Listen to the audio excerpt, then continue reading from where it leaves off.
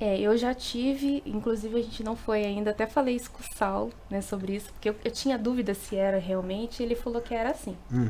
né? Eu já fui na casa de uma pessoa que é para fazer uma pesquisa. Eu, eu fui nessa casa, eu vi detalhes da casa. É curiosidade que, assim, eu fui e eu vi muita imagem de santos, assim, e o pessoal falou assim, não, o pessoal é, é evangélico, Uhum. né? A Então pessoa tem santo lá, né? não tem como ter santo. Eu falei, não, acho que isso é uma errata do meu sonho, né? Uhum. E eu fui vendo detalhes, a casinha, a cor que era a casinha. No, nessa projeção que eu fiz, eu via os obsessores. Aonde eles estavam na, na casa, sabe? Aonde que eles estavam parados. E no dia seguinte, eu contei, ah, acho que eu sonhei com a sua avó. Era a sua avó que eu tava sonhando, não sei o quê. E daí você pode mandar uma foto pra mim de como é que é a casa? Daí ela mandou a foto, era exatamente igual do meu sonho. E a avó dela é católica. E tem um monte de santinho, assim. Ela gosta de fazer benzer, né? Essas coisas que os mais antigos fazem. E realmente, é, bateu certinho.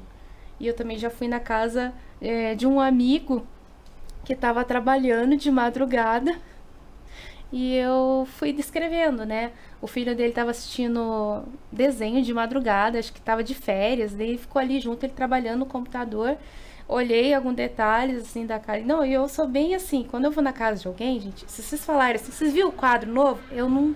Eu, Já cara, tentou aquele eu detalhe. não reparo, assim, tipo, de, ai, nossa, eu vi tal coisa. Não, eu sou muito em Nárnia quando tô na casa de alguém, sabe? Eu fico ali falando com a pessoa, eu não olho os detalhes.